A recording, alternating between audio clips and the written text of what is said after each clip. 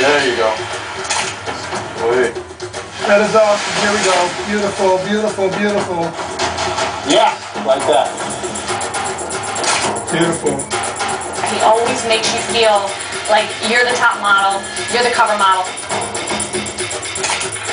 Kind of girl.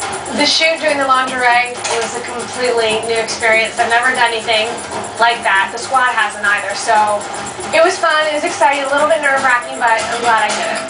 Tiffani in lingerie, which we've never done before. The wardrobe stylist did that with pink high heels.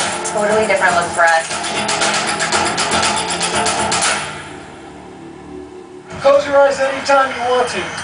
Hand ready, open.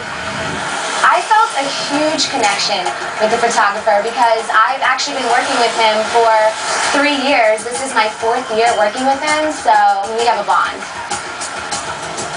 Today's photo shoot was amazing. I've never gotten my hair wet before, so that's definitely something different and never been in the water before, so it was an all new experience and the people that did my makeup are off the hook. The people that did my hair were off the hook. Like, I just couldn't have felt more glamorous and more beautiful.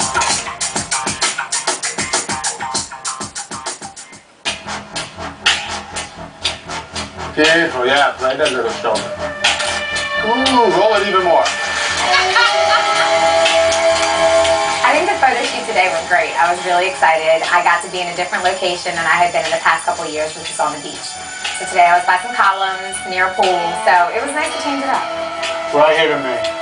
This is my first time working with him, and it was just nice to know that, you know, if there was something that didn't look right, then he helped me fix it, and if it looked great, he just told me to keep on going, so that definitely helped.